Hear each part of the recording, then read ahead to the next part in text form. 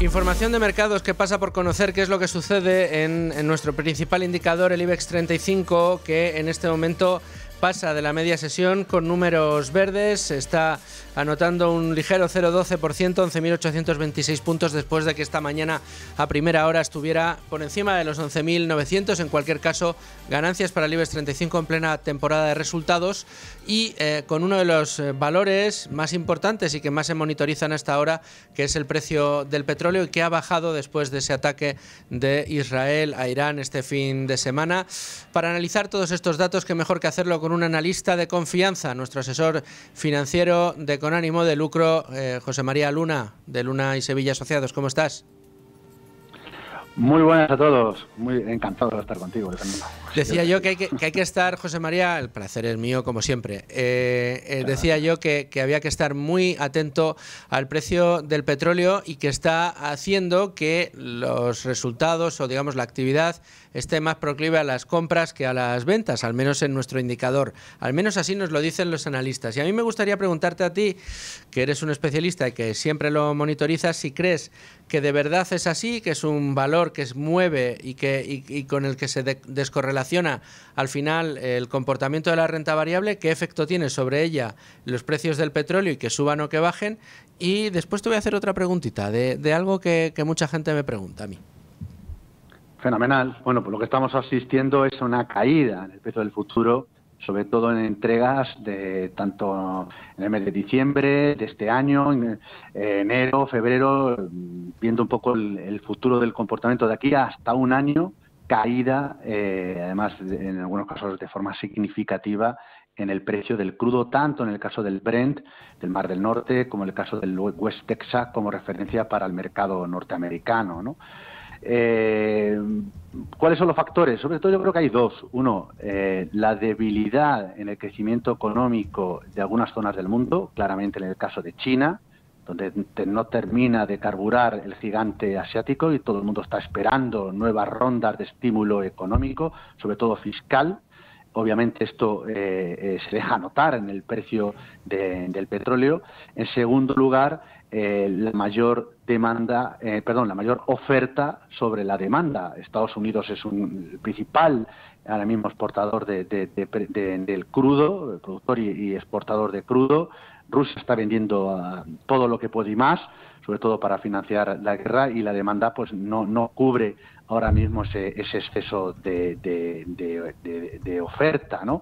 Además está el factor del conflicto bélico en Oriente Medio, que de momento, bueno, pues al no haber atacado Israel determinados eh, núcleos o, lugares, eh, bueno, pues mucho más sensibles, en este caso de Irán, esto no provoca a su vez que se cierre el estrecho de Hormuz, no lo quiera, porque evidentemente entonces veríamos el precio del petróleo eh, a, precios mucho más altos. Es decir, a pesar de las tensiones geopolíticas, el precio en estos momentos, tanto del contado como de, los futuros, está mostrando debilidad y probablemente, aunque pueda haber ciertos repuntes en algunos días, eh, lo que vamos a seguir viendo es una cierta debilidad del precio del crudo respecto al, a la eh, es decir la tendencia va a ser desde mi punto de vista al menos en el corto plazo va a seguir siendo bajista ¿Eso tiene repercusiones? Sí, tiene dos repercusiones muy claras. Una, menores presiones inflacionistas, eso es música celestial para la inversión en renta fija, para inversión en deuda, que sobre todo deuda corporativa, con lo cual es un sitio interesante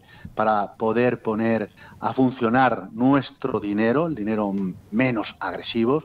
Y luego la parte de renta variable influye claramente en, eh, negativamente en las empresas eh, de distintos sectores o subsectores de energía, sobre todo ligadas al petróleo, pero en cambio sí que sin duda alguna es un factor positivo para otros sectores, como puede ser el caso de la tecnología.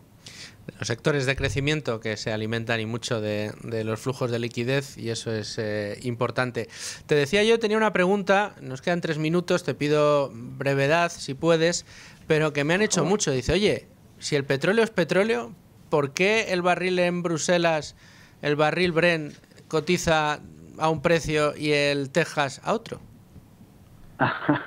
Normalmente, eh, de hecho, el Brent, eh, que, cotiza en el mercado de Londres, eh, es un precio más alto, puesto que la referencia es más global.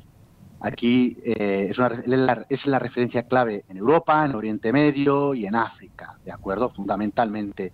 En el caso del, eh, eh, por así decirlo, está más influenciado por eventos geopolíticos y de oferta y demanda a nivel mundial.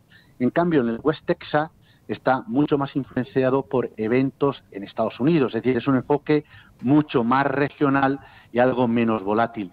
Que sea una referencia más global, el caso del Bren normalmente suele cotizar algo más elevado, también es algo más volátil, y hay ese, por así decirlo, ese spread, ese diferencial entre la cotización del Bren, suele ser un poco más alto que en el caso del West Texas.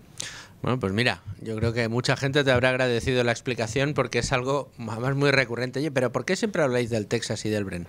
Que no es lo mismo. Me queda eh, apenas 30 segundos. Solo un sector. Si alguien tiene un poquito de pólvora seca y que quiere eh, fijarse en un sector, decías, deuda corporativa puede ser un buen momento. Deuda corporativa, fantástico. Y yo creo que empresas orientadas a crecimiento, norteamericanas, fenomenal empresas de dividendo tanto en Europa como en Estados Unidos, yo creo que es clave y no lo olvidemos la electrificación, clave fundamental como puede ser en el caso de los data centers. José María Luna, por eso me gusta hablar contigo en, con ánimo de lucro, porque tienes siempre las ideas muy claras y nos aclaras muchas ideas, ambas cosas. Así que muchísimas gracias, de verdad. Hasta dentro de unos Un abrazo, claro, mucho. abrazo. Hasta pronto. Y nada, señores oyentes, a todos ustedes les agradezco que estén aquí. No se vayan porque nos vamos simplemente a los servicios informativos de radio, escuchamos las noticias de la una y volvemos hoy con Estados Unidos. Mirada a Estados Unidos, que está la cosa caliente, caliente.